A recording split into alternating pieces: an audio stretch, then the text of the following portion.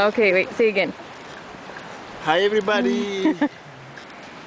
Elephant is hungry, but uh, I just ran out of food and don't know what to do. See if I can find banana somewhere to feed it, but